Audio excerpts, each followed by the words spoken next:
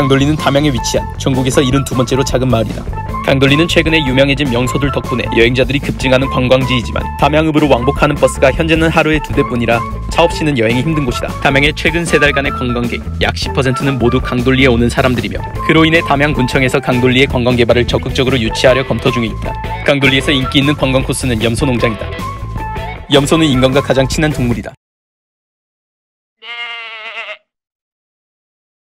강돌리는 지자체에서 에너지를 발전하는 것으로 유명하다. 태양열 0.2%, 태양광 2%, 풍력 2.7%, 그리고 태초의 유해에서 95.1%의 에너지를 생산하고 있다. 오로바스님은 강돌리의 기적이자 축복이며 누구도 부정해서는 안 된다. 그렇지 않으면 그 늙은 말은 너의 오른편에 서게 될 것이다.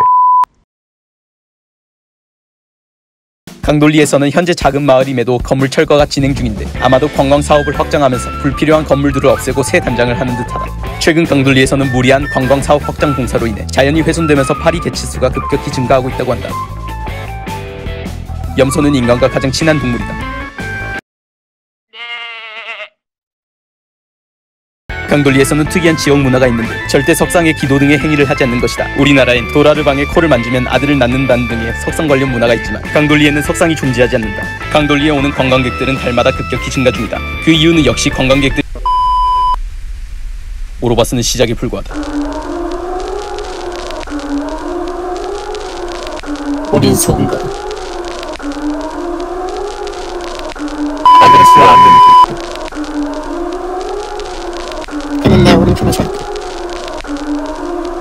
내 오른편에 서 있다. 내 오른편에 서 강돌리에 사는 점돌이는 마을 마스코트다.